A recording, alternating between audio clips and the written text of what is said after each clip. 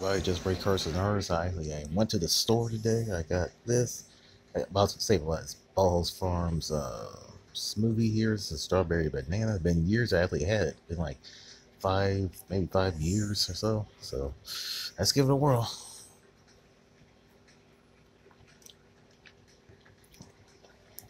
Wow. I definitely taste the banana. It never tastes the strawberry. So yeah. 250 calories right there. Like, this stuff ain't too bad. It's been a while. So this feel good.